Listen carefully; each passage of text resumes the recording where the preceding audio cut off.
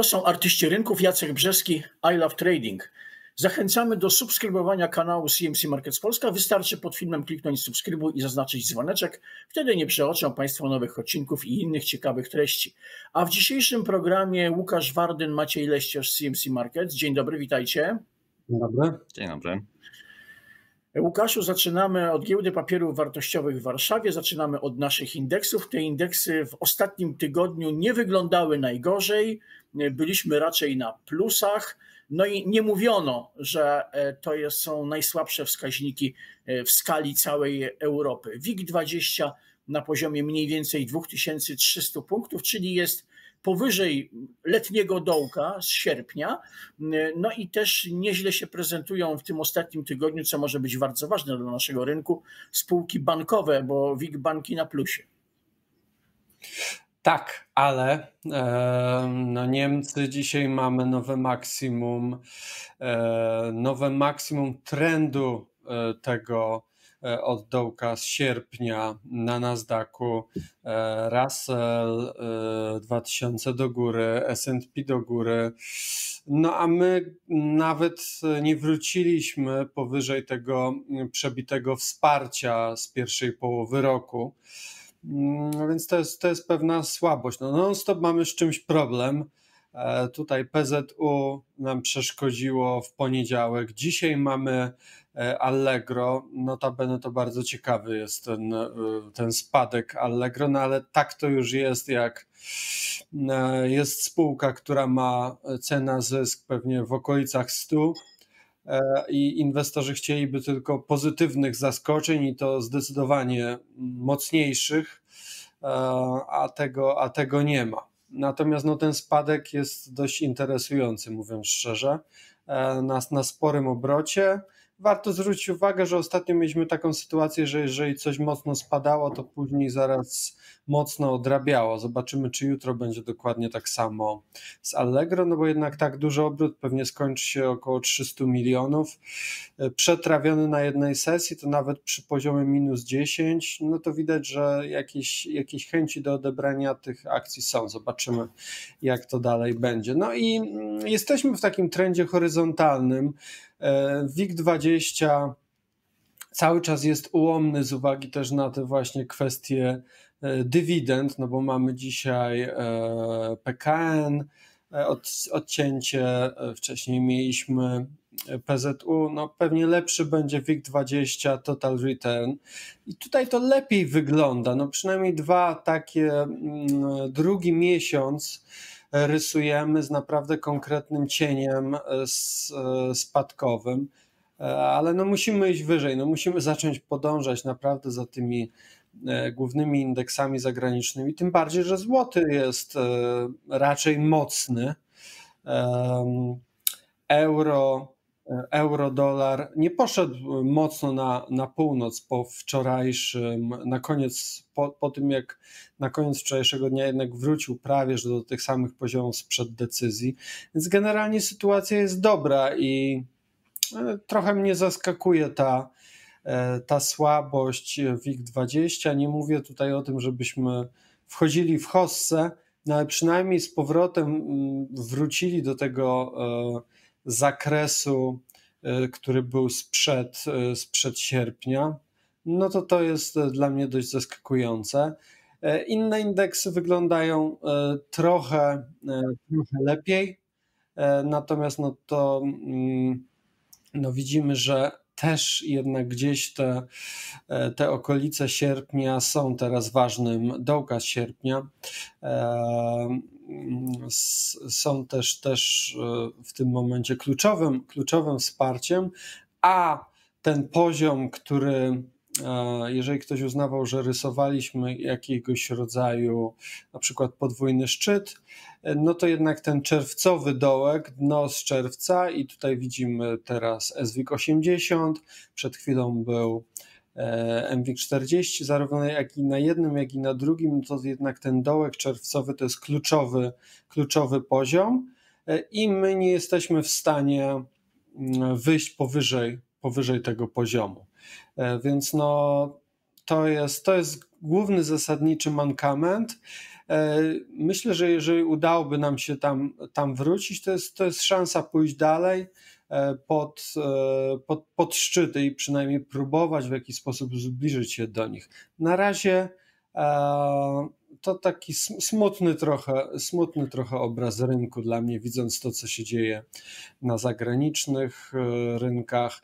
E, I jeżeli jest jakieś zaskoczenie i minus, tak jak to było z PZU, e, czy, czy, czy, czy, czy rynek słaby na Allegro, bo ja, ja tam zaskoczenia w wynikach nie widzę, no to wtedy ta dynamika się pojawia, zmienność się pojawia a bez tego e, są spore obroty, ale tej zmienności nie ma, więc e, no, trzeba, najlepsza, najlepsza strategia od dłuższego czasu to jest po prostu czekanie, co, co, się, co się dalej wydarzy, i to właściwie dotyczy zarówno tych, którzy już mają otwarte pozycje, jak i tych, którzy, którzy nie mają. No, wygląda na to, że mm, dla tych, którzy nie mają pozycji, to akurat na WIG20 nie ma się co spieszyć są lepsze do, do spekulacji krótko i średnioterminowej, są zdecydowanie lepsze indeksy w tym momencie.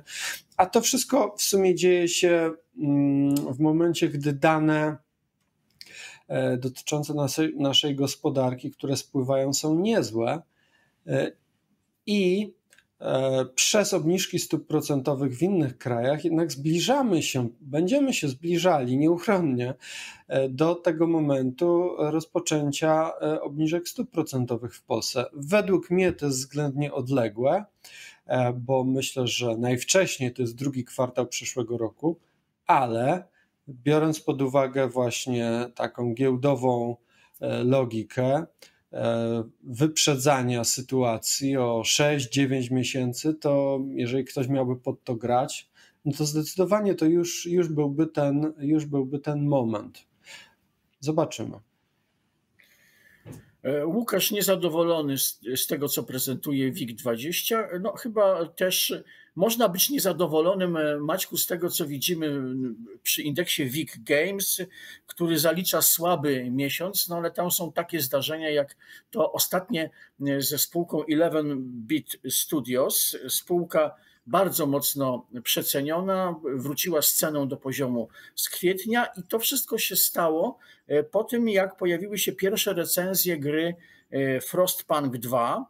Przychylne recenzje, no ale być może e, inwestorzy realizują zyski, a być może inwestorzy są jednak rozczarowani, że nie się, nie pojawiła się żadna recenzja hura optymistyczna, entuzjastyczna, no i trochę się boją przed tą e, premierą tej e, gry. No, dla równowagi spółka CD Projekt dźwiga się w notowaniach od, od ponad tygodnia.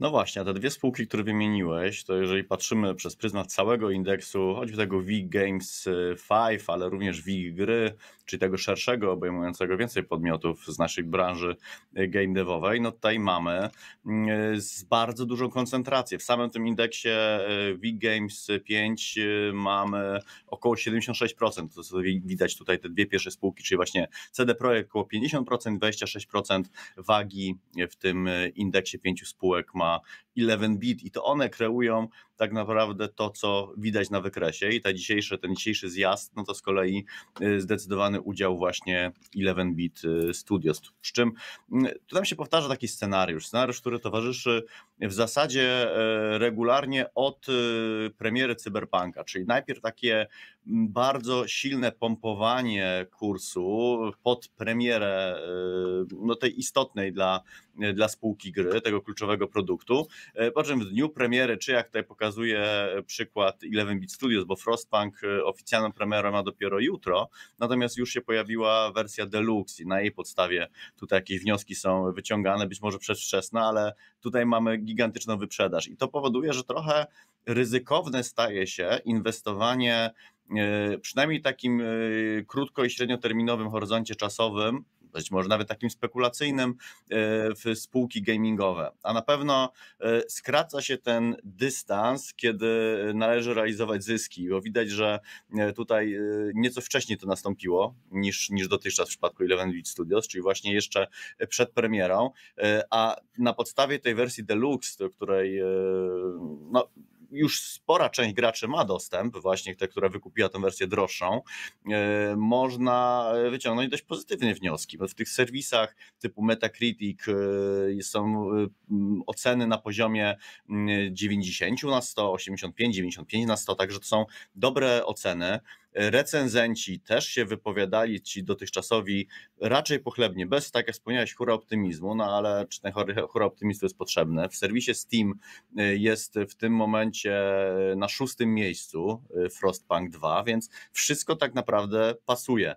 Czego brakuje? No brakuje y, właśnie tego kapitału, który tutaj by się ulokował na, w dłuższym horyzoncie czasowym, bo jeżeli tak będzie się kształtowała tak się będą kształtowały oceny, gra będzie e, sprosta wymogom graczy, no, to, to będzie oznaczało wyższą sprzedaż i dobre wyniki w kolejnych kwartałach na podstawie tego jednego produktu, tym bardziej, że Frostpunk, e, ten pierwszy, e, też jest w pierwszej 50 najlepiej sprzedających się gier w serwisie Steam. To oczywiście jest powiązane e, z premierą dwójki, bo zazwyczaj tak jest, że w momencie, kiedy się pojawia e, druga część, trzecia, kolejna jakiejś e, istotnej gry, no to te poprzednie jej części też wracają do łaski i ponownie rośnie ją zainteresowanie. No, niemniej jest to teraz dobry czas, tak się przynajmniej wydaje dla tej spółki. Jeżeli się opinie będą powtarzały, no to może być całkiem nieźle. Więc przy, jedynie potwierdzenie tego, że granie pod premierę jest y, bardzo ryzykowna. A mamy jeszcze kilka spółek gamingowych, które w najbliższym czasie y, będą publikowały swoje, znaczy będą miały premiery swoich y, produktów. Choćby tutaj w najbliższym czasie jeszcze Blooper Team. Zresztą daleko nie trzeba szukać sam 11-bit w ciągu bodajże tygodnia kolejny, kolejną grę, kolejna gra będzie miała premierę, więc no tutaj jest taka też dwojaka gra, dwojaka gra pod dwie premiery, więc no tutaj to, to ryzyko jakiś jakiś sposób się nieco wcześniej zmaterializowało. E, co do mm, samego jeszcze co do projektu, tutaj warto też e, wspomnieć o tym, że tutaj jest nieco inna sytuacja niż była w przypadku 11-bit, dlatego że na CD Projekcie w zasadzie nie mamy E, w perspektywie miesięcy, ale nawet roku czy dwóch lat premiery, e, bo ten e, projekt Polaris, czyli kolejna, kolejna gra świata Wiedźmina, no, ujrzy światło dzienne dopiero w 2026-2027 roku, czyli sporo czasu nam tutaj zostaje. To też powoduje taki trochę sceptycyzm ze strony mm, inwestorów zagranicznych i analityków zagranicznych. Te rekomendacje zagranicznych podmiotów no, są dużo bardziej pesymistyczne niż rodzimych. No i też jednak inwestorzy tutaj rodzimi nieco większy mają e, udział w tych, w tych wzrostach, w tym optymizmie, tak? Więc to jest e, bilansowane przez sceptyczne fundusze, które shortują E, w CD Projekt. W tym momencie mamy pięć podmiotów z pozycjami krótkimi i e, te pozycje krótkie tych podmiotów zajmują, ważą około 4% wartości spółki. To nie jest tak dużo jak jeszcze dwa tygodnie temu, gdzie był przekroczony próg przynajmniej oficjalnie 5,5%. Mówię oficjalnie, dlatego że nieoficjalnie teraz jest zapewne większy i wówczas był większy, bo e, raportują do e, rejestru KNF-u jedynie podmioty, które mają powyżej 0,5% e, udziałów w pozycjach krótkich, więc no tutaj ta wartość na pewno jest, jest większa. Tutaj wielokrotnie o tych krótkich pozycjach mówiliśmy, że to niekoniecznie musi być takie nastawienie długoterminowe, pesymistyczne. Tutaj jeszcze inne kwestie w to wchodzą, zabezpieczenia pozycji jako instytucji finansowych dla innych podmiotów. Natomiast no, pozycje krótkie są i w momencie, kiedy e, jest taka fala wzrostów, czysto nawet spekulacyjna, bo myślę, że w przypadku CD Projektu tutaj głównie e, te ruchy mają charakter spekulacyjny, choćby to podejście po 188 zł, czyli to, co jest tutaj zaznaczone jako szczyt z marca 2022 roku i potem silne cofnięcie, to mm, jeszcze rok temu podobny ruch część funduszy wyrzucił z tych pozycji krótkich, czyli pojawił się ten oczekiwany short squeeze. No teraz jak widać ten poziom się przesunął dużo wyżej. Omawiając tutaj co jakiś czas CD Projekt, do tego wracamy, tego potencjalnego short squeeze'a, on się w ogóle nie materializował i wydaje mi się, że w tym momencie kolejny y, kolejna ta cegiełka z inwestycji krótkoterminowych na CD Projekcie, czyli ta taka agresywna spekulacja pod short squeeze, też y, odpada dla części inwestorów. Będą się, y, mogą się obawiać wejścia w krótkim terminie, bo może z tego krótkiego terminu zrobić się termin długi, jeżeli się szybko scenariusz nie zmaterializuje, a tak niestety to, to wygląda. Więc no, tutaj jest ten oczywiście charakter spekulacyjny, ale coraz mniej może być udziału w najbliższym czasie. Tak przynajmniej taki mam wrażenie. Więc póki co, co do podmiotów z całej samej branży. Ogólnie patrząc na tle mm, choćby omawianego przez Łukasza WIG-20, e, sierpień na pewno można zaliczyć do udanych, e, wyprzedził e, WIG-20, wyprzedził rynek, cały indeks, ale no tutaj oczywiście prowadzony przez CD Projekt, a kolejne miesiące, no biorąc pod uwagę, że ta agresywna spekulacja nieco się skończyła, być może zostanie to podbudowane przez lepsze nastroje, jeżeli wróciłby kapitał zagraniczny na indeks cały WIG20 i na rynek polski, mm, co też jest możliwe właśnie w kontekście e, obniżek stóp w Stanach Zjednoczonych, więc tutaj jakiś sentyment może się poprawić i ogólnie wśród spółek technologicznych. One były napędzane tak szeroko pojęta technologia, tutaj w przypadku biotechnologia e, mocno napędzała w ubiegłym e, miesiącu e, rynek i to dalej się dzieje, więc to jest to taka grupa spółek, które wcześniej radziły sobie nieco słabiej, więc mogą nadganiać. I tutaj ten nasz, cała branża, ten sektor gamingowy też w tej grupie może się znaleźć, no przy czym właśnie te scenariusze kupowania faktów, kupowania plotek, sprzedawania faktów, e, one zbyt często się powtarzają, więc w kontekście nadchodzących premier, no tutaj na pewno ostrożność taka dodatkowa jest e, mocno wskazana. To teraz indeks giełdowy, o którym Łukaszu przypuszczam będzie się lepiej wypowiadał niż o WIG-20, mianowicie amerykański indeks Russell 2000, E, zbierający te mniejsze spółki notowane na Wall Street. Russell 2000 e, wykonuje od dwóch tygodni ładny ruch w górę, chociaż wcześniej oglądaliśmy też dosyć istotne spadki. I w ogóle indeksy amerykańskie na Wall Street, e, takie jak S&P 500 czy Nasdaq, bardzo spokojnie przyjmują decyzję amerykańskiego banku centralnego o, o obniżeniu stóp procentowych o 50 punktów bazowych. Co, co może cieszyć, to gdy mm, w lipcu były te e, cztery sesje e, wielkiej, wielkiej rotacji e, do właśnie tych spółek z Nasdaqa, no to teraz po tych, po tych wielu tygodniach okazało się, że my potwierdzamy tamten wzrost, więc to jest według mnie bardzo optymistyczne, czyli e, inwestorzy uznali, że będą obniżki stóp procentowych i to będzie dobre dla tych spółek o najmniejszej kapitalizacji. Było trochę w skrócie zamieszania w międzyczasie z tym spadkiem też sierpniowym, no ale teraz e, my wróciliśmy do tych poziomów, więc to jest jednoznacznie dobry, e, dobry sygnał dla tych spółek. No, no wiele z nich e, narzekało na, na sytuację kredytową i na, e, na też e, chęć konsumenta do, do skorzystania z ich usług, do, do, do, do kupna ich towarów i produktów. No i ta spora obniżka, ona na pewno poprawi. Tutaj pytanie jest po prostu, jak daleko, czy jak mocno Fed jest spóźniony, bo według mnie w pewnym stopniu na pewno, na pewno jest spóźniony. No, jeszcze pewnie 6-9 miesięcy, tak klasycznie, nie zobaczymy efektu tych obniżek stóp procentowych. E, tak by było klasycznie. E, natomiast no, biorąc pod uwagę, że mm, w obecnej e, gospodarce wszystko jednak szybciej się odbywa, to możemy ten efekt zobaczyć szybciej.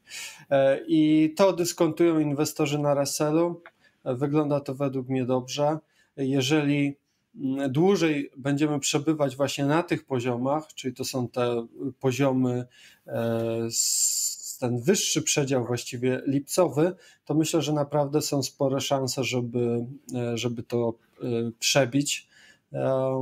Więc wygląda to nieźle, tym bardziej, że no też inne, inne amerykańskie indeksy wyglądają bardzo dobrze. Więc tutaj punkt dla, dla tych spółek z Russella.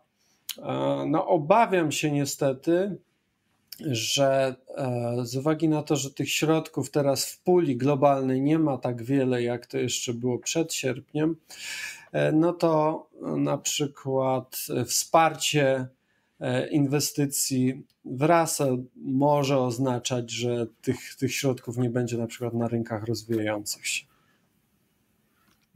Przenosimy się teraz do portfela Warrena Buffetta, sędziwego multimiliardera i zaglądamy do jego wehikułu inwestycyjnego Maćku, czyli do spółki Berkshire Hathaway. No i tutaj mamy sytuację taką, że Berkshire e, nie tak dawno e, osiągnęło kapitalizację przekraczającą bilion dolarów, teraz jest e, nieco niższa, no ale i tak ciągle imponująca.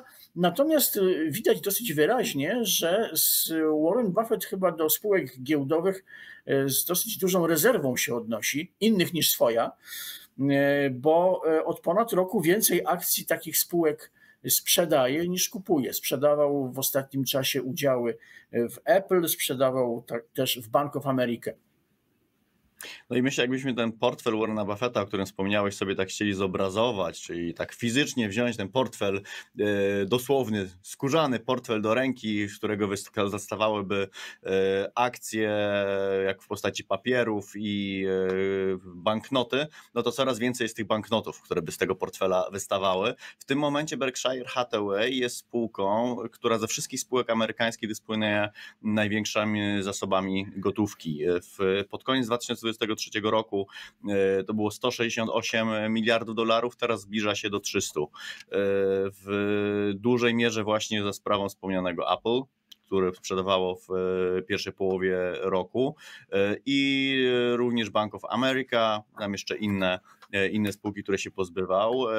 W wkrótce, no za jakiś, bo też pod koniec października, czyli listopad, na początku listopada e, będą wyniki opublikowane, tam rynek oczekuje około 10 miliardów e, zysku, e, no i ten zysk zapewne nie zostanie znowu przeznaczony pod e, zakup akcji, tylko raczej znowu zwiększy tą ilość gotówki e, w portfelu e, spółki. Także tutaj jest częściowa niechęć. To się oczywiście fajnie nam pokrywa z oczekiwaniami rynkowymi yy, i z tym, co się dzieje w perspektywie, może dziać w perspektywie 6-9 yy, miesięcy, zresztą tak jak Łukasz w pierwszej części mówił, że to jest ten poziom, który jest przez rynek wyceniany, tak samo działa Warren Buffett i Berkshire Hathaway, czyli właśnie wyceniając przyszłość, yy, potencjalne spowolnienie na rynku, zresztą historycznie rzecz biorąc, rozpoczęcie cyklu obniżek stóp procentowych spowodowało również zwrot na rynku akcji.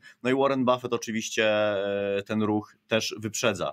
E, więc no tutaj nie ma co się dziwić, to wszystko nam się fajnie wpasowuje w, tutaj w tą teorię cykli e, i jak najbardziej taka rotacja jest wręcz podręcznikowa, tak tutaj Warren Buffett się zachowuje, a patrząc jak historycznie, jakie decyzje były podejmowane, tutaj na swoim koncie Warren Buffett i Berkshire Hathaway ma szereg bardzo udanych inwestycji. No, Apple jest, jest też jedną z nich.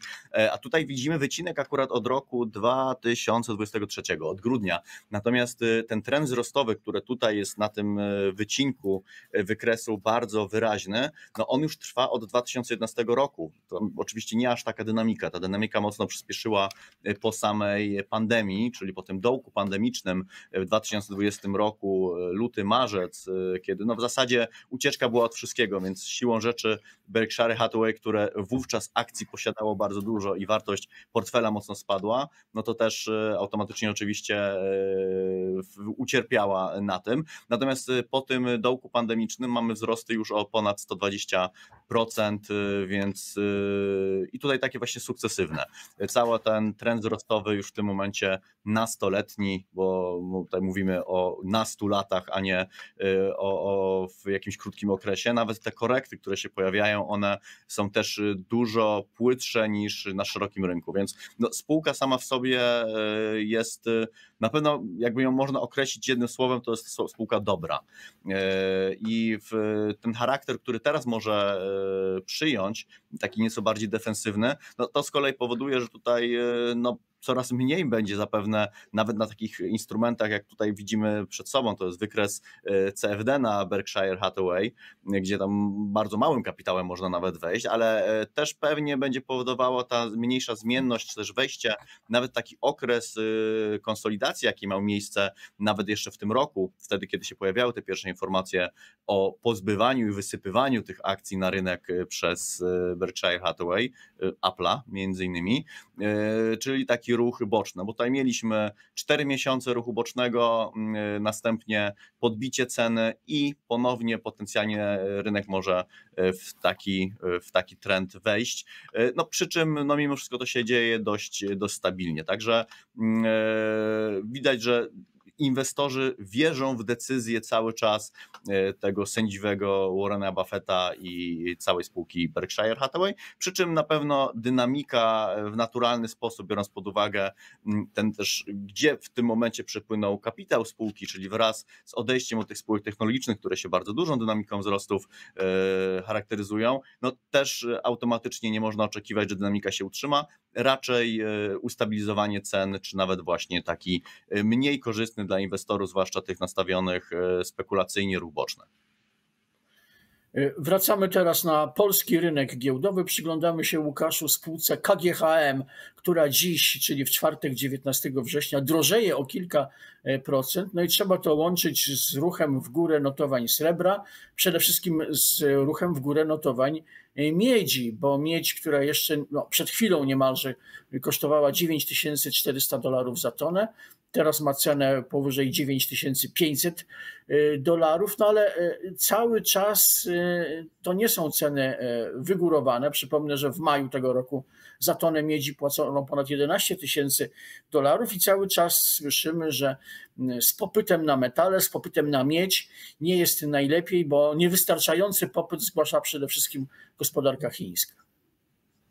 To jest ciekawe, bo przecież największe banki od dłuższego czasu mówiły, że my to cały czas mamy wielką lukę e, i tej miedzi będzie nam brakowało. No, jak widać, tak nie jest. Myślę, że to, co teraz kreuje e, ceny, przy tym generalnie stabilnym popycie, względnej równowadze pomiędzy siłami popytu a podaży, no to jest kwestia po prostu euro-dolara. E, tu nie mamy też wybicia, bo z tego jeden mm, z tej ostatniej korekty, e, no nie poszliśmy teraz od 1.11 do 1, nie idziemy w kierunku 1.13, raczej po dzisiejszym dniu widać, że w bok poszliśmy, no ale to już, to już jest, są jednak wyższe ceny euro-dolara i to pozwala być wyżej ceną miedzi y, niż to, to maksimum, które jest w sierpniu, w, w sierpniu. My w okolicach tego maksimum jesteśmy. E, no więc e, jeżeli udałoby się tutaj dłużej przebyć, no to możemy faktycznie pójść dalej w górę. E, srebro będzie miało ten argument, by podążać za cenami złota kwestia, e, kiedy wystrzeli, ale to często jest tak, że to są po prostu e, bardzo długie, tam są przestoje i nagle, jeżeli jest e, kontynuacja tego ruchu na złocie, no to wtedy srebro też nadąży. I to wszystko będzie miało i ma wpływ na KGHM i wydaje mi się, że dalsze ceny miedzi są tutaj nie, niemocne ceny miedzi. E, ale jednak dalej na północ są, są zdyskontowane. No, sytuacja na wykresie akurat KGHM jest bardzo interesująca. E, ten e, cały ruch, który był w kwietniu, szkoda, że na tym wykresie właśnie brakuje nam jednej kreski. Ten ruch, który był w kwietniu, można uznać za lewą, lewe ramię, później głowa. I to, co się działo w lipcu, to prawie, prawe ramy. Mocne, mocne zejście nawet powrót, e, takie utrzymanie się na wyższym poziomie i wtedy to wszystko runęło. E, z uwagi na bardzo mocne pochylenie tej formacji, no to my prawie, że zrealizowaliśmy cały zasięg cały zasięg spadku. Natomiast dzisiaj, to już w zależności jakiej skali byśmy użyli, jeżeli właśnie tą linię szyi byśmy narysowali, no to my do tej linii szyi właśnie dzisiaj e, górnym knotem wróciliśmy, więc ciekawe czy dalej, ja myślę, że bez e, już teraz, bez ruchu na cenach miedzi, no to nie uda się dalej pójść na, na KGHM, więc to, to będzie potrzebne. Natomiast zwróćmy też uwagę na ostatnie wyniki spółki. E, ta produkcja była, była lepsza niż oczekiwania inwestorów. Myślę, że można pod tym względem, że można być e, optymistą. Pytanie, czy dla rynków wschodzących po prostu wystarczy środków inwestycyjnych, tych, tych globalnych. E, myślę, że to jest główny w tym momencie mankament całego, całego polskiego rynku. Ale jeszcze może jedna rzecz. Pamiętajmy o tym, jeżeli udałoby nam się wrócić na WIG20 do tej konsolidacji e, sprzed e, właśnie końca e, lipca, która była, no, że te akcje były bardzo mocno zbierane z rynku. Na dzisiaj można powiedzieć, że to była dystrybucja, tak patrząc po prostu na to, co się dzieje, gdzie jesteśmy na wykresie, ale, ale to jest tylko na dzisiaj. Cały czas można uznać, że to był bardzo szeroki trend horyzontalny. Spore wymiany akcji tam były, e, więc gdybyśmy, gdyby rynek, gdyby pojawił się teraz kapitał, żeby rynek miał iść dalej w górę, no to to będzie, tamten okres będzie procentować. On będzie procentować dla równo, zarówno dla jednej, jak i drugiej strony i wzmocni e, ten potencjalny ruch. KGHM byłby wtedy też tego zdecydowanie e, beneficjentem. No, doszliśmy do takiego momentu na wykresie KGHM-u, że też e, jeżeli ktoś nie ma pozycji, no to ma ten komfort i może, może poczekać, bo odbicie jeszcze takie właśnie ABC e, było dość solidne. Na pewno pojawi się trochę pesymizmu, więc myślę, że warto warto na spokojnie sobie to wszystko e, poanalizować. Chyba nie ma sensu się spieszyć ani po jednej, ani po drugiej stronie. E, to teraz chyba też spokojnie będziemy, Maćku, analizowali sytuację z drugim metalem, o którym tutaj już przed chwilą zaczęliśmy mówić, czyli ze srebrem. E, metalem, który jest po części szlachetny, po części przemysłowy. Jedni więc mówią, Łukasz to przed chwilą e, przypomniał, że trzeba e, ceny srebra wiązać z cenami złota. Inni twierdzą, że należy bardziej patrzeć na kontrakty terminowe na miedź, a ponieważ kontrakty terminowe na miedź no ciągle nie są na wysokim poziomie, to i srebro nie może być przesadnie drogie. Mamy sytuację ze złotem taką po tej decyzji Fedu o obniżce stóp procentowych, że złoto odpowiedziało na tę decyzję natychmiast rekordem historycznym.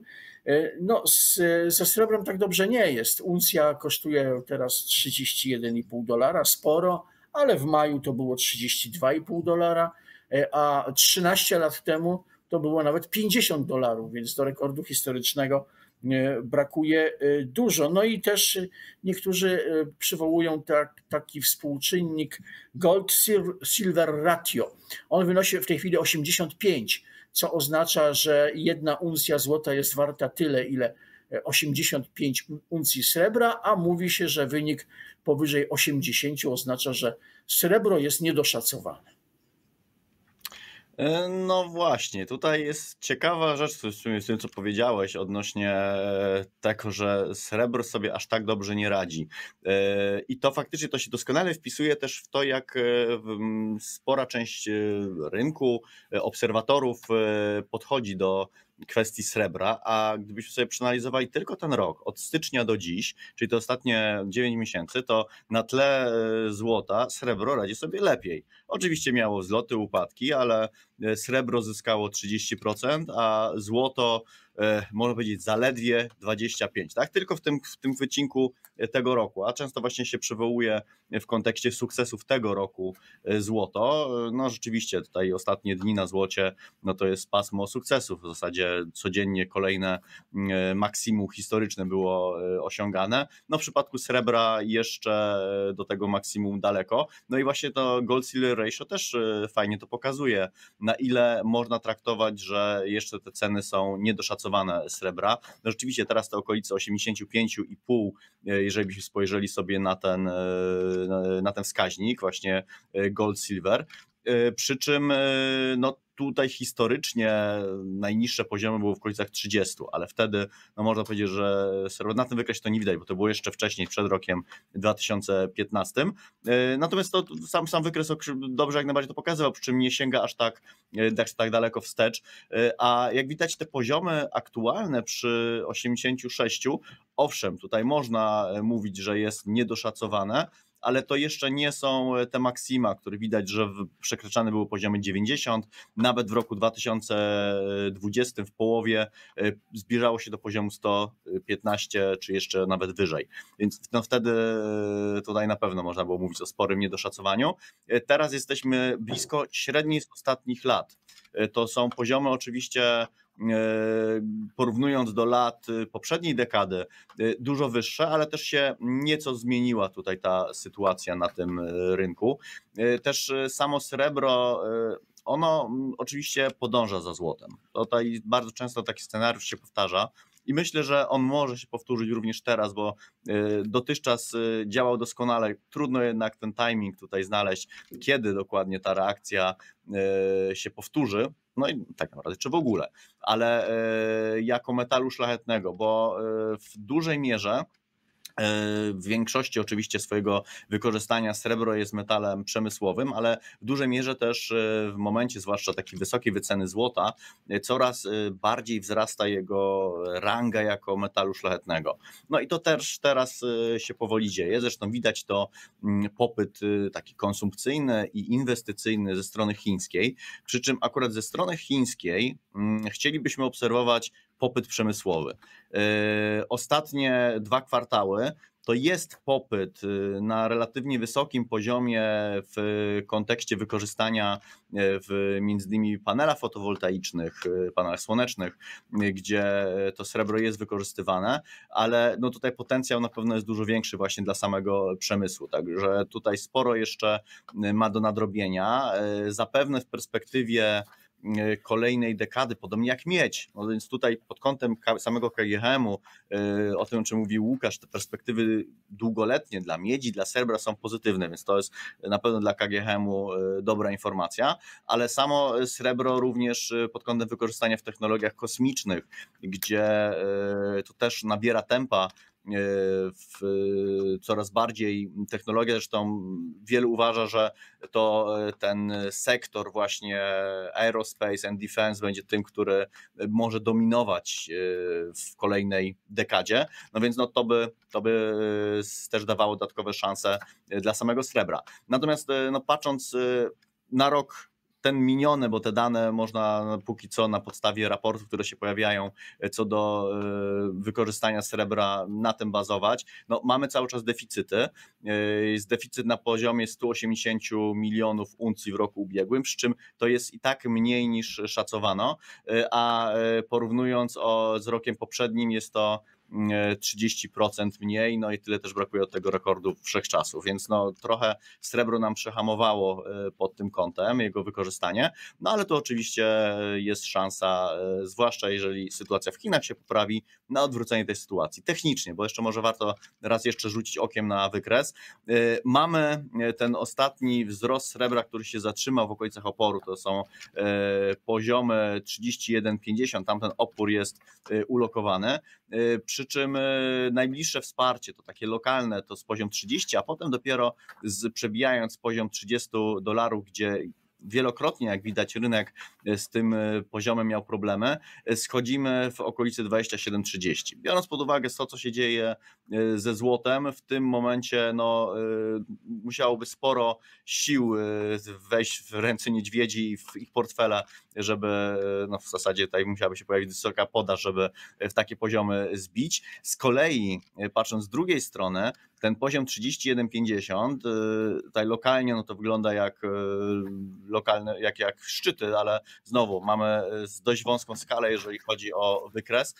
Tam potencjał wzrostu jest dużo wyższy ale znowu brakuje tych czynników fundamentalnych, które mogłyby do tego dopuścić. Czyli w tym momencie 31,50 to jest dość istotny opór. Jak widać, on był kilkakrotnie w tym e, roku podejmowane były próby jego pokonania, więc dojście w, w te okolice, nawet przy aktualnych cenach złota, znowu może powodować w tym momencie zawirowania. A tutaj ruchy są naprawdę imponujące. No to jest kolejny metal, który pokazuje, jak duży jest taki potencjał spekulacyjny właśnie w instrumentach surowcowych, bo do tego wszystkiego jeszcze dokłada się cały ten roller coaster potencjalny na samym dolarze który się dzieje, no bo rynek oczywiście wycenia obniżki stóp procentowych, natomiast e, też e, pytanie, gdzie są granice, a cały czas jednak dolar jako ta waluta rezerwowa i potencjalnie wykorzystywana w kontekście również bezpiecznej waluty, no może też dodatkowo te zawirowania powodować na samym srebrze, no i też innych metalach, innych surowcach. No a szlachetne metale są specjalnie jeszcze dodatkowo narażone właśnie w świetle E, tych obniżek stóp procentowych, które się rozpoczęły. Zobaczymy, jak będzie się kształtowała przyszłość polityki monetarnej, jakie będą dalsze ruchy Fedu. No, ta pierwsza obniżka o 50 punktów bazowych, pomimo że wyceniana, jest dość agresywna. No więc no to nam może teoretycznie budować scenariusz wzrostowy, ale on niekoniecznie musi się sprawdzić. E, przenosimy się na rynek walutowy. Tutaj nas interesuje, Łukaszu, przede wszystkim ta najważniejsza para euro-dolar. No i nie sprawdziły się prognozy, że jak amerykański bank centralny radykalnie obniży stopy procentowe, to dolar runie. Nie runął. E, Fed obniżył stopy procentowe mocno o 50 punktów bazowych. To na krótko w środę 18 września dolara osłabiło. E, ciągle za e, euro płaci się mniej niż 1, niż 1 dolara i 12 centów, a 1,12 płacono na przykład pod koniec sierpnia. Pod koniec sierpnia dolar był także słabszy niż teraz w relacji do złotego, więc z dolarem dramatu nie ma. No, ja, mnie to zupełnie nie dziwi. Jedynie e, czego faktycznie można e, oczekiwać, to jakieś krótkoterminowe, średnioterminowe umocnienie euro, e, bo te, te różnice w, w polityce stóp procentowych, no one nie będą, nie będą znaczne. Jakoś tutaj wielkiej zmiany, jakiejś znaczącej na niekorzyść dolara, to nie widzę, więc Myślę, że na razie na co mogą liczyć faktycznie na eurodolarze, to że my wróciliśmy do tego bardzo szerokiego zakresu konsolidacji. Zobaczmy, że odbiliśmy się od bardzo ważnego wsparcia, jesteśmy teraz wyżej e, i myślę, że są, są szanse, żeby e, ten kierunek e, kontynuować, czyli Pewnie w kierunku kolejnego bardzo ważnego poziomu oporu, to jest ten najważniejszy, to są okolice 1,13. I te zasięgi formacji, które widać, no one są w stanie to umożliwić. E, co wcale nie oznacza, e, że, że mamy mieć długoterminową tutaj zmianę e, warty i to nagle euro ma być królem. No o to myślę będzie trudno, tym bardziej, że w Europejskim Banku Centralnym też będą musieli się spieszyć z obniżkami E, znaczy inaczej, jeżeli Fed będzie się musiał spieszyć, dokładnie tak samo będzie musiał Europejski Bank Centralny e, reagować, więc myślę, że będzie ciężko dla euro. No to, to, e, to jest myślę, że ciekawsze tak naprawdę w tym momencie jest to, co się dzieje na złotym, na indeksie złotego, bo jeżeli od końca od końca maja my spojrzymy właśnie na konsolidację na indeksie złotego, to mamy E, maj, czerwiec, maj e, wyznaczony szczyt, koniec maja, później czerwiec, dołek bardzo nisko, lipiec kolejny lokalny szczyt, e, później dołek, ale już ten wyższy, który był w czerwcu, mamy w sierpniu i teraz jesteśmy dokładnie no, gdzieś w, środku, może troszkę powyżej środka tego zakresu. On się bardzo zawęża. I jeszcze 5 i 6 dni temu my dotykaliśmy dolnego zakresu tej zmiany, a dzisiaj dotknęliśmy, czy odrobinkę nawet naruszyliśmy górny zasięg tej zmiany, ale już miejsca nie ma zupełnie, e, więc e, no, jakieś wyjście nam się należy. Minus jest taki, że bardzo często, jeżeli mm, tego typu trójkąty czy kliny powstają i nie wyjdzie szybko, względnie nie ma wyjścia, no to wtedy okazuje się, że cała ta formacja nie była ważna, wychodzimy bokiem, ale myślę, że tutaj zobaczymy, zobaczymy konkretny ruch. Ja cały czas mówię na indeksie złotego, a to dlatego, że właśnie ten euro-dolar według mnie, on no, tak się zachowuje, że tutaj jest potencjał do, do większej zmienności. Zresztą, jeżeli na różne aktywa spojrzymy, e, no to wszędzie ta zmienność podskoczyła. Nawet e, Bitcoin wraca powoli do, do właśnie tych, tych swoich takich typowych zachowań, trochę większej e, zmienności. Więc ta, ta, ta zmienność jest i myślę, że na, na rynku walutowym też się będzie e, sporo działo, a euro, dolar technicznie, krótko i średnioterminowo mm, sprzyjający dla euro. I jeszcze jeden e, wątek, Łukaszu, pojawiający się w analizach różnych komentatorów. Wybory prezydenckie w Stanach Zjednoczonych. Jest taka opinia, że jeśli e, wybory wygra Donald Trump i będzie e, stosował protekcjonizm gospodarczy na wielką skalę, to to wzmocni dolara i będziemy mieli wyraźnie mniej niż 1,11, 1,12. Jeśli wygra Kamala Harris, będzie kontynuowała politykę Bidena, i to dolarowi nie będzie służyło i euro będzie kosztowało wyraźnie więcej niż 1,12.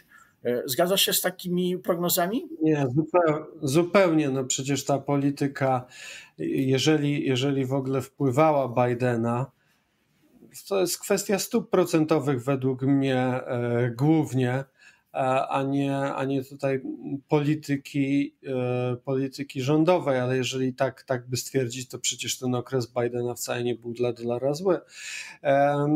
Kompletnie, szczególnie pod względem rynku walutowego, e, nie zawracałbym, dosłownie nie zawracałbym sobie głowy. Mm, oczywiście im więcej taki, mm, taki, takich jest e, spolaryzowanych opinii, i właściwie skrajnych e, i mocnych, e, no bo to, co, to, co przytoczyłeś, to, jest, to są naprawdę moc, mocne opinie, e, jak wybór jed, jednego czy drugiego kandydata, kandydatki, jak może wpływać na rynek walutowy, ale im więcej takich sprzecznych i sprzecznych opinii, no to to nam po prostu zapewnia zmienność, bo rynek będzie, e, rynek będzie nerwowy. Nawet jeżeli ktoś ma własne wyraźne zdanie, jakiś fundusz, e, jakiś analityk, to jak będzie widział coś, jakieś konkretne zmiany, zacznie się denerwować. Więc myślę, że pod względem zmienności to na wielu aktywach do wyborów, do momentu jak poznamy, kto będzie E, prezydentem Stanów Zjednoczonych, to mamy zmienność zapewnioną. E, natomiast ja, ja uważam, że to jest tylko nerwowość rynkowa, a w, e, nie będzie wpływu na innego niż właśnie ten spekulacyjny na rynek walutowy. I na koniec jeszcze jedna waluta, japoński jen. Maćku, tutaj niedawno jen był do dolara najmocniejszy od ponad roku teraz lekko osłabł, no ale zmiana na plus dla jena e, w skali ostatnich miesięcy jest bardzo wyraźna, bo o ile teraz za dolara płaci się 143 jeny, to w lipcu było to więcej niż 160 jenów.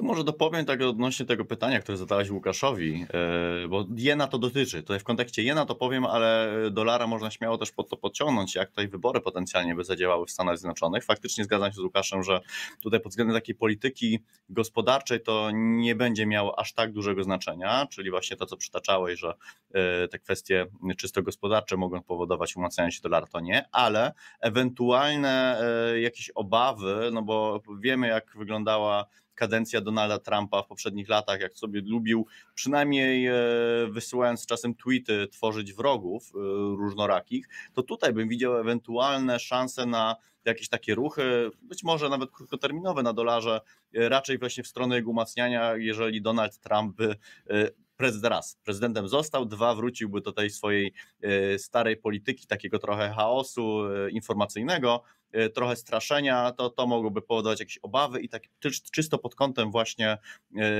wykorzystania walut takich jak jen, dolar, frank, jako tych walut uznawanych za bezpieczniejsze, to mogłoby w jakiś sposób wpływać, tak w mojej opinii, właśnie na, na jakieś ewentualne ruchy. Ale tutaj mimo wszystko tak samo na jenie rządzi polityka monetarna i tak jak na dolarze rządziła i rządzi dalej i rządzić będzie. Również w stronę e, stóp procentowych należy zwracać uwagę w przypadku jena. E, no jen po tej swojej słabości odbił w lipcu, sierpniu po decyzji w drugą stronę niż cały świat, czyli o podwyżce w tym przypadku stóp procentowych, dojście do tego poziomu 25 setnych i najprawdopodobniej jutro, bo jutro mamy decyzję w bardzo wczesnych godzinach dla nas w w zasadzie w środku nocy Banku Japonii. Najprawdopodobniej zostaną utrzymane stopy procentowe. E, na tym poziomie niezmienionym, ale rynek e, może e, oczekiwać jakichś sygnałów dalszej, takiej bardziej jastrzębiej polityki monetarnej. I to pewnie mogłoby tutaj w dalszym ciągu zadziałać i utrzymać ten ruch spadkowy, znaczy wzrostowy na tym, co teraz widzimy, czyli na indeksie jena po tej korekcie, która ma miejsce, a w przypadku dolara do jena pozwoliłoby na przebicie tego poziomu, póki co nieprzebijalnego 140 e, jenów za dolara e, i być może jeżeli faktycznie ten poziom był przebity w kontekście dalszych oczekiwań e, co do, mm, co do polityki monetarnej e, w Japonii i takiego bardziej jastrzębiego podejścia, no to mogłoby być takim dość istotnym impulsem spadkowym na tej parze, a wzrostowym na indeksie samego jena. No tutaj na pewno jest to ważne nie tylko dla samego rynku walutowego, ale jak pokazuje przykład z wakacji, jak jak decyzja o, o, tej podwyżce i bardziej e, jastrzębiej polityce monetarnej, jak mocno wpłynęła na wszystkie rynki e, poprzez e, wychodzenie z transakcji carry tradingowych na jenie, to tutaj taki scenariusz no, jest też niebezpieczny. Oczywiście to zostało wycenione w dużej mierze. Tych transakcji już wiele zostało zlikwidowanych, czyli tutaj rynek tę płynność sobie zmniejszył e, właśnie wychodząc z tych transakcji. Natomiast no cały czas e, jednak ta, ta część, która jeszcze pozycję utrzymuje, również może z tego się wycofać, tym bardziej, że zmienia nam się już zupełnie relacja w tym momencie no, w 50 punktów bazowych w Stanach E, stopy zostały obniżone, więc tutaj potencjalne e, podwyżki na jenie no jeszcze coraz bardziej nam zbliżają e, oprocentowaniem jedną i drugą walutę, czyli te transakcje, których istotą jest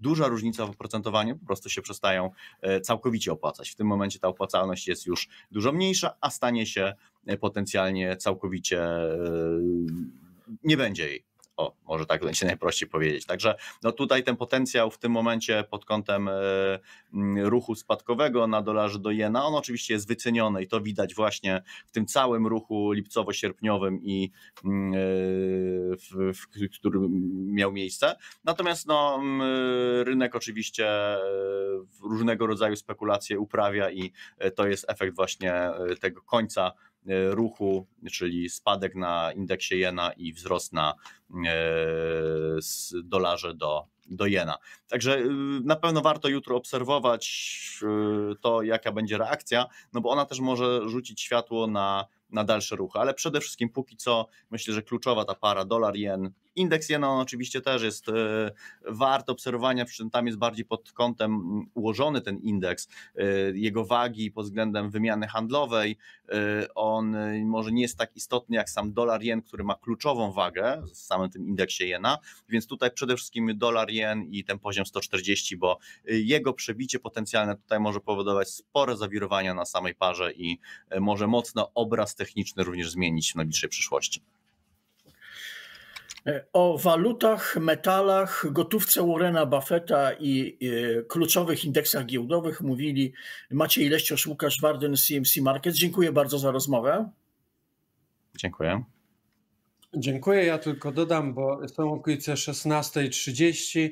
Mówiliśmy Allegro grubo ponad 300 milionów obrotu, będzie grubo ponad 400, a może WIG będzie w okolicach 2 miliardów. Więc idziemy w bok, ale są takie pakiety, wymieniamy się, że jest bardzo ciekawa sesja.